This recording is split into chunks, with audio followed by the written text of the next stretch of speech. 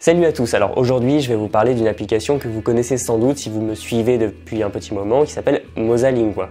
J'avais déjà consacré un article à l'application il y a assez longtemps, j'en parle régulièrement, mais c'est l'occasion de revenir dessus dans cette vidéo et aussi de vous donner une bonne nouvelle à la fin, donc euh, ça pourrait vous intéresser.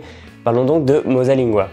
Commençons par expliquer le principe. Donc Mosalingua, c'est quoi? C'est une application sur mobile, tablette, disponible sur iOS, Android, qui permet d'apprendre le vocabulaire d'une langue étrangère. Donc contrairement à ce que j'entends parfois, il ne s'agit pas d'une méthode de langue, mais simplement, et c'est déjà beaucoup, d'un outil pour apprendre le vocabulaire d'une langue en utilisant la répétition espacée et les cartes mémoire. Vous trouverez six langues sur Mosalingua, parfois que quelques déclinaisons supplémentaires. Ils sont l'anglais, l'espagnol, l'allemand, l'italien, le portugais et aussi le français. En parallèle de toutes ces langues, il y a deux versions de Mosalingua qui sont les applications mobiles de base, dont on va parler aujourd'hui, et une version qui s'appelle Mosalingua Web qui est plus complète avec toutes les applications et du contenu en plus avec des choses à écouter, de la lecture, un outil qui permet d'apprendre du vocabulaire en contexte. Mais aujourd'hui, on va surtout se concentrer sur l'appli mobile. Mosalingua se base donc sur deux choses qui sont les cartes mémoire ou flashcards en anglais et la répétition espacée. Donc si ça vous parle pas beaucoup, les cartes mémoire ce sont des outils pour apprendre le vocabulaire avec sur une face le mot en français, sur une face le mot dans la langue. On va se passer ces cartes les unes après les autres pour apprendre des mots, des expressions. Et la répétition espacée, j'en ai déjà pas mal parlé, je vous renverrai un article plus complet. Il s'agit d'un système qui fait que moins on connaît une information, plus on va la réviser souvent, et plus on connaît une information, moins on va la réviser souvent. Donc euh, Mosalingua se base exactement ou presque sur le même principe que SuperMemo, Anki, c'est-à-dire un peu les ancêtres de, ce genre d'application. C'est quasiment la même chose, mais il y a quelques ajouts bienvenus qui font que Mosalingua arrive à tirer son épingle du jeu. Donc comment ça se présente? Bah, Sur votre téléphone, ça va à ça quand vous allez lancer. J'avais fait un test avec plein de captures d'écran, euh, ça va vous permettre de voir plus facilement en détail à quoi ça ressemble. Donc chaque jour, vous pouvez apprendre euh, de nouvelles cartes par paquet de 5 ou 10 euh, ou plus si vous voulez. Et à chaque session d'apprentissage, vous allez avoir 4 étapes. La première s'appelle écouter et prononcer, donc qui est une phase d'écoute qui permet de découvrir le mot simplement en l'écoutant. Et là, il y a une fonction qui est très bien pensée de micro qui permet de s'enregistrer et de comparer son enregistrement à ce qu'on entend. Deuxième étape, la phase dite mémoriser, où là vous avez le français il faut arriver à retrouver le mot que vous venez d'apprendre dans la langue cible. Et la troisième phase, ce sera donc écrire, donc euh, c'est assez évident, il va falloir réécrire le mot en tapant sur des lettres euh, pour le reconstituer. Et la quatrième et dernière étape, c'est l'auto-évaluation, donc comme sur Anki ou autre. Vous allez voir le mot et estimer si euh, vous en avez une mauvaise connaissance, difficile, une connaissance moyenne, bien ou une très bonne connaissance, facile, ou si vous avez besoin de vous le repasser avec la fonction revoir. Et en fonction de votre auto-évaluation, ça va déterminer vos intervalles de répétition, c'est-à-dire que les mots que vous savez pas bien du tout, vous les reverrez demain, les mots que vous savez très bien, vous les reverrez dans plusieurs semaines, etc. Et donc chaque jour, vous aurez besoin de réviser les anciennes cartes que vous avez déjà vues parce que c'est de la répétition espacée. Tous les jours, il faut revoir d'anciennes choses et aussi d'apprendre donc de nouvelles cartes. Je vous conseille d'être régulier, de ne pas avoir les yeux plus gros que le ventre. Apprenez 5 cartes minimum par jour, à 10, 15, voire 20 si vous avez la capacité à assimiler tout ça. Mais en tout cas, n'hésitez pas à en faire peu, mais régulièrement. Ça, c'est vraiment la clé et d'y revenir euh, chaque jour. Et si vous êtes du genre tête en l'air à oublier votre travail, ne vous en faites pas, l'application vous envoie chaque jour un rappel sur de notification sur votre téléphone ou tablette pour venir réviser. J'avais évoqué des avantages de Mosalingua par rapport à d'autres applications comme Anki. Donc pour moi, ces avantages sont les suivants. Donc tout d'abord, il y a une interface qui est assez jolie. Ça n'a pas toujours été le cas, je me souviens, il y a quelques années, c'était assez moyen et même au début, c'était même plutôt moche, il faut le dire. L'interface a été retravaillée récemment, elle est assez agréable à l'œil. Donc bah oui, c'est bête, mais c'est toujours une bonne expérience quand on doit euh, utiliser une application tous les jours, qu'elle soit au moins euh, agréable à regarder. Ensuite, les cartes mémoire, c'est-à-dire le support des mots et expressions, ces cartes sont bien faites selon moi, parce que pour une grande majorité de ces cartes, vous allez avoir une image et un enregistrement audio fait par un locuteur natif. Donc ça offre tout un ensemble de choses qui facilitent la mémorisation, qui va ancrer le mot ou l'expression dans votre mémoire, en l'associant donc avec une image, en l'associant avec une prononciation qui permet, et ça c'est pas du luxe, de savoir comment donc le mot se prononce. Et si un mot, une expression ne figure pas dans l'application, vous avez même la possibilité de créer vos propres cartes. Donc là, bah, évidemment, il n'y aura pas d'enregistrement.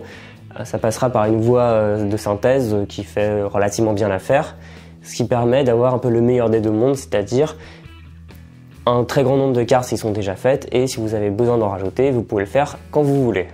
Ensuite, on peut saluer tout le travail qui a été fait pour fournir du contenu additionnel, c'est-à-dire que quand on lance une application, on ne se rend pas forcément compte de tout ce qu'il y a dedans.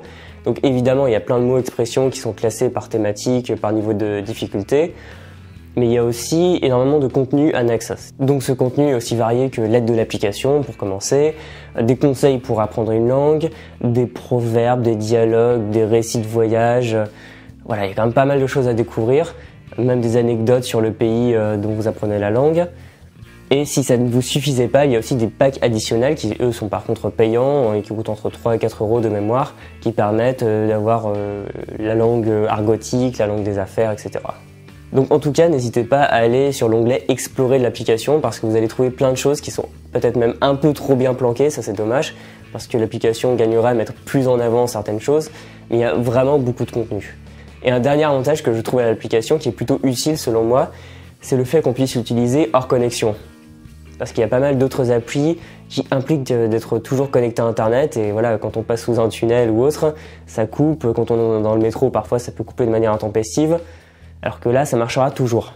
Dans le pire des cas, la voix euh, enregistrée sera pas disponible parce qu'il faudra la télécharger, mais vous aurez la voix de synthèse à la place, ça fait amplement l'affaire. Et ça, c'est vraiment quelque chose que j'apprécie parce que, euh, par exemple, avec Memrise, il m'est déjà arrivé de m'arracher les cheveux parce que j'arrivais pas à le lancer dans le métro. Là, avec euh, Mosalingua, il n'y a pas besoin d'être connecté. Maintenant, on va parler des, inconvénients de Mosalingua parce qu'il y en a quand même. Il y en a peu, je trouve, parce que l'application a été bien améliorée au fil des années. Le premier inconvénient que je vois concerne une fonction qui n'a pas concerné beaucoup de gens, je le sais, et qui pour moi est assez importante, c'est la création de cartes parce que même s'il y a cette possibilité qui est très puissante, la fonction pour créer les cartes est assez bien cachée malheureusement. Pour la trouver, il faut rechercher un mot et s'il n'est pas disponible, on peut le créer et là on accède au menu pour créer la carte. Et il n'y a pas beaucoup d'options de personnalisation, c'est-à-dire qu'on peut rentrer le mot, une expression et la traduction bien sûr et c'est tout. C'est pas comme dans Anki par exemple où on peut rajouter des images, où on peut rajouter du son je peux comprendre parce que c'est plutôt une appli clé en main, mais euh, si vous êtes plutôt du genre bidouilleur à créer absolument tout, Mosalingua sera peut-être un peu trop limité, mais par contre, si vous aimez avoir euh, absolument euh, tout vocabulaire à porter, dans tous les cas, on peut très bien complémenter avec ses cartes perso, mais vous attendez pas pouvoir mettre des images par exemple. Un autre inconvénient qui est un petit détail mais que je trouve assez agaçant, c'est que quand l'application vous envoie une notification, c'est via un petit voyant rouge qui clignote. Ça n'a pas toujours été ainsi, ça m'a beaucoup énervé quand c'est apparu. Parce que même si ça permet de se rappeler euh, qu'il faut réviser, je trouve ça assez intrusif, assez agressif. Alors que je préfère quand les applis font simplement un petit voyant euh, vert qui est quand même moins euh, violent. Et pour finir, il n'y a pas énormément de langues parce que par exemple sur Memwise ou Anki, c'est la communauté qui crée à peu près tout. Donc là, c'est une équipe qui crée les applications avec les cartes. Donc forcément, ça va dépendre de la taille de l'équipe, de la demande pour telle ou telle langue. Donc si vous n'étudiez pas l'une des six langues proposées, bah, va falloir aller voir ailleurs. Mais voilà, on est sur des langues majeures, donc il y a quand même de quoi faire. Mais si vous ne tombez pas sur la bonne langue, bah, tant pis, vous ne pourrez pas utiliser l'application. Donc ma conclusion sur Mosalingua, c'est que c'est un très bon outil pour apprendre du vocabulaire. Ça ne permet pas d'apprendre une langue en l'utilisant seul, évidemment. Mais en complément d'une méthode, d'un cours ou autre, en utilisant le contenu qui est très conséquent dans l'application et même en rajoutant vos cartes si besoin, vous avez un très bon compagnon pour réviser et apprendre chaque jour de nouveaux mots et de nouvelles expressions. Donc si ça vous intéresse, si euh, votre langue cible fait partie des langues proposées, l'application est disponible sur iOS, Android au prix de 5 euros. Et la version plus complète, Mosalingua Web, est disponible donc sur navigateur internet au prix de 60 euros. Dans la description de cette vidéo, vous trouverez un lien vers le test que j'avais fait il y a quelques temps avec plus de capture d'écran, plus de détails sur l'application et aussi les liens pour télécharger tout ça. Et j'arrive enfin à la nouvelle d'aujourd'hui, c'est-à-dire que si vous regardez euh, cette vidéo quand elle sort, le samedi 30 mars, j'organise actuellement et pendant plusieurs jours un concours sur la page Facebook du Monde des Langues et il y a 10 accès à Mosalingua Web à gagner, donc si ça vous intéresse de participer, il vous suffit d'aller sur la page Facebook, c'est-à-dire facebook.com slash mondelangue, et vous trouverez le lien dans la description, et comme ça vous pourrez tenter de gagner un accès à Mosalingua Web. Comme d'habitude, vous pouvez aimer cette vidéo si elle vous a plu, vous abonner à la chaîne, et si vous utilisez Mosalingua, n'hésitez pas à venir en parler en commentaire. Donc pour ma part, je vous dis à tout de suite sur Facebook, et bon courage dans votre apprentissage d'une langue étrangère. Salut